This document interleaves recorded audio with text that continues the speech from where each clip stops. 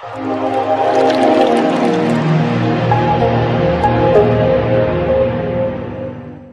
you wake up and said, I am confused, do you know the meaning of that? You are walking in the flesh. You open your mouth and say, I am just confused. Galatians chapter 5, verse 16 said, He said, Walk in the spirit, and ye shall not fulfill the lust of the flesh.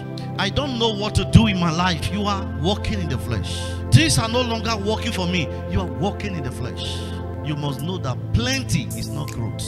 You are a spirit. It was the word of God that became flesh that is dwelling among us. The word of God is spirit. That word is dwelling among you. It is that word that make you a spirit. That word is God. That word is Jesus. Is dwelling in you right now. Refuse to walk in your senses, in the flesh. That is why you feel things are not working for you.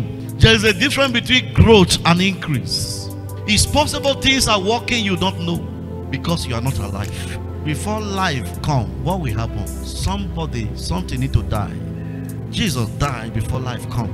When things reduces around you, doesn't mean things are not working. Remember this one thing: no matter what you have acquired, you have the one that acquired them. They are not greater than you. Even if those things still leave you, remain you. Don't allow possession to be more greater, valuable more than you. You were the one that work money to buy that car. That you say you have lost your car and you are still there. You can still make another one.